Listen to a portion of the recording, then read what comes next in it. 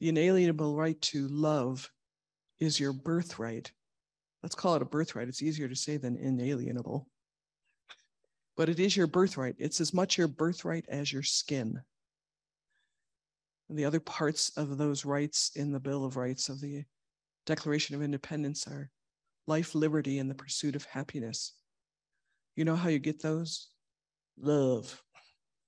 It is the responsibility of us to show how we love to liberate ourselves in the world.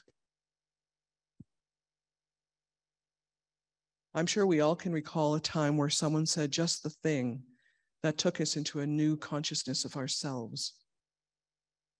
That came through a spirit of love.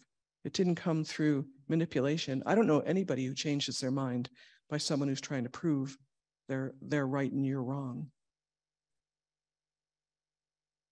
But that experience of love moving through another person can wake up another person. This is supposed to be a thriving, loving world. Life, liberty, and the pursuit of happiness, those are not things you can buy. They happen because of the expression of yourself. And it really gets magnified when you're doing it with another person.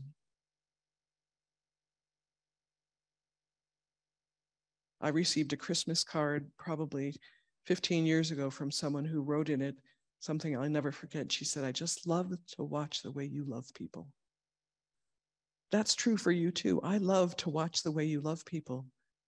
And going back to the you might be the only face a person sees, that person might have a gift this world needs so badly. And the only way it's going to be freed up and brought into the world if, so, if someone sees them. Isn't that true for your experience? Like you became somebody else and brought more of yourself because somebody saw you and someone said, let's do this together.